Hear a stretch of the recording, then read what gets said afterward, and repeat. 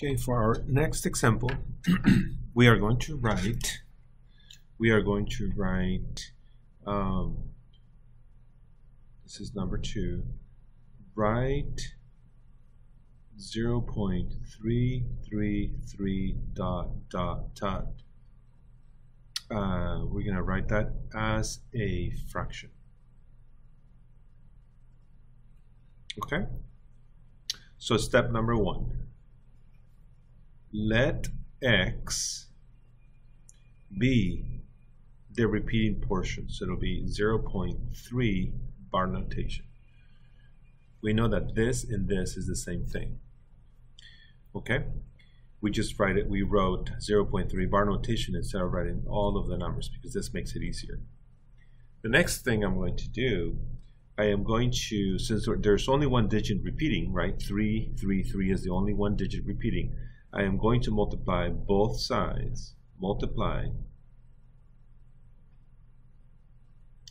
both sides of the equation, both sides of the equation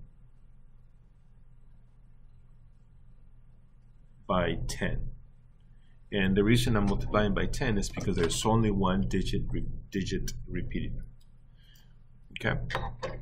All right, so I am going to do that. I'm going to go 10 is equals to 0 0.3 bar notation, but I am going to multiply each side by 10.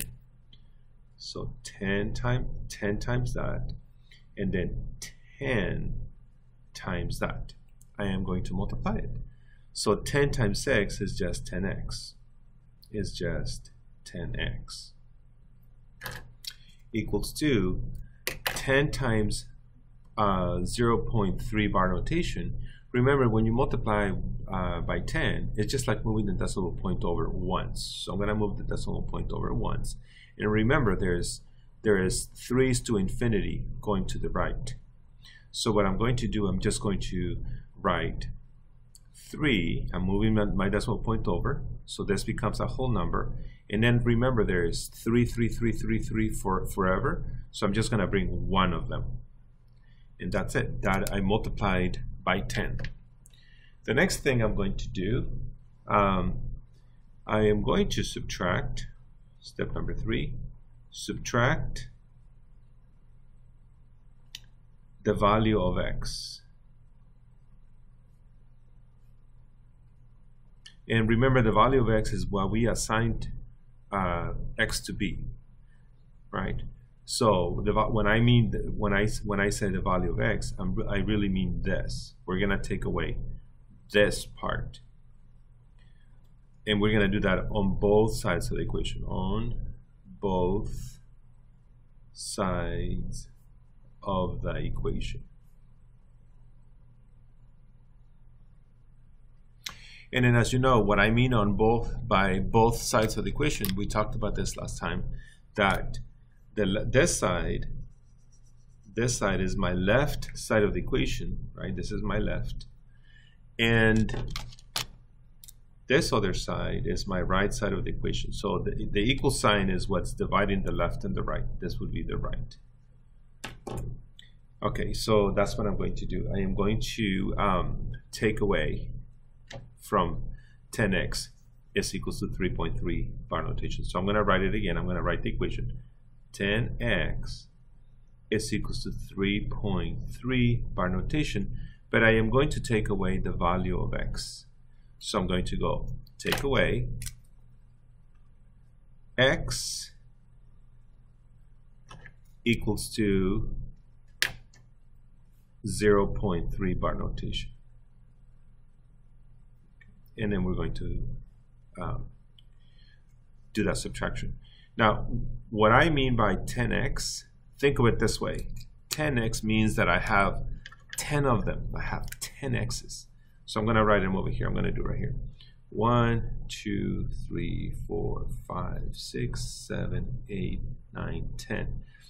I have 10 positive x's. That's what it means. 10 x's, right? 10x.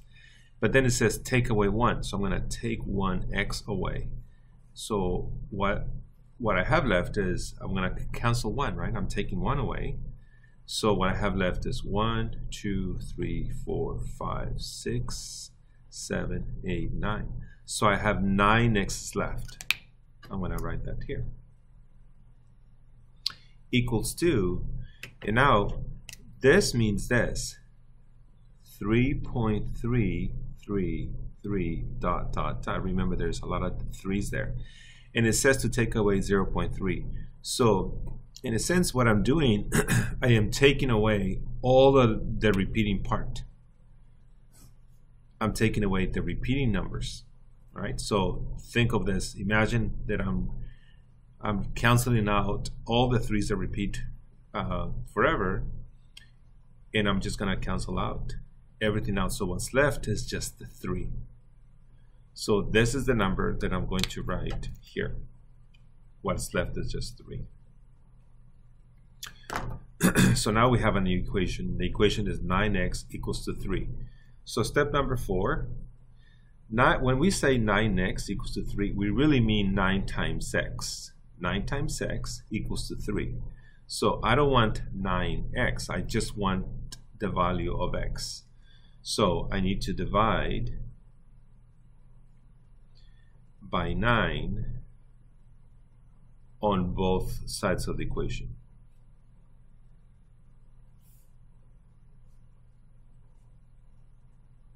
And we need to divide whatever you do to the left, you, you need to do it to the right to keep the, the equation balanced.